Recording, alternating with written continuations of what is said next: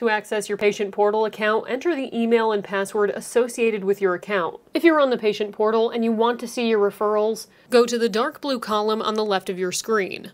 Scroll over to Medical Records, hover over that, then select Referrals in the drop-down. This will take you to a page with a list of all your referrals. They're organized by date. Select the one you'd like to view under the Details column. You'll be able to view the provider you're seeing, when you're being seen, and who provided that referral. Additionally, you can make a referral request by selecting the Request Referral button. You can then give the subject of your request a title, write out a message for your provider, and click Submit.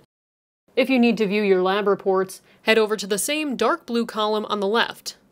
Go back to Medical Records and select Lab slash Diagnostic Reports. The labs will be listed by the date your provider ordered them, not the date they were completed meaning if a patient had their labs done yesterday, but the doctor ordered them three weeks ago, the date on the lab report will be from three weeks ago. To look at the details of your lab report, click on the blue title under the column Name. You'll be directed to a page with information on the lab, including the test name, who ordered the test, and the reason the lab was ordered. Any diagnostic reports you see will not include images, just the reports. Images can be viewed from medical records, and when you have the results, you should call your doctor to interpret those results. And that is how you access your referrals and view lab and diagnostic reports.